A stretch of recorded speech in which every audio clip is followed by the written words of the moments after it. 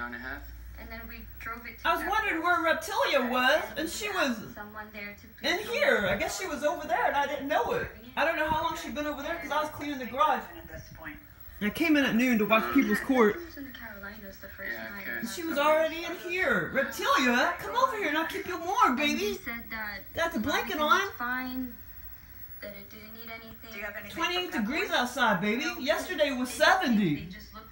Thought it felt pretty damn warm. I figured it was close to 70 or 70, and sure enough, it was 70 degrees yesterday. New Jersey Turnpike, it started smoking and But I knew it was supposed to be bad today because my mom said it was, so I looked at the weather. Right now it's 28 degrees, but it's supposed to be So it, it literally 24 degrees like by 2 o'clock, I believe. pulled over or no? Yeah, I mean, it was And then I guess it's supposed to get in the teens wasn't anyone else overnight. Pulled That was when we called Yeah, the we- tow company. See, I'm a free roamer turtle. We let the car um cool down. I'm a for free about roamer. another Texted hour. that time? Um, I believe I did. So I'm, I'm Oh my god, the store Trooman, Trooman's about to take a dump. too.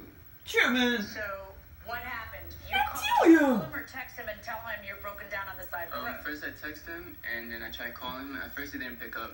Now, almost every day, she so I walks around the house for I was hours and hours and hours and hours. called and I, that's when we Say, started. till I get all tired. The whole situation. And And then she'll just say? What did stop you say? somewhere and just relax and sleep for many hours. car does that. But sometimes at that point, I'll go ahead and put her back to her little area broke in the living room.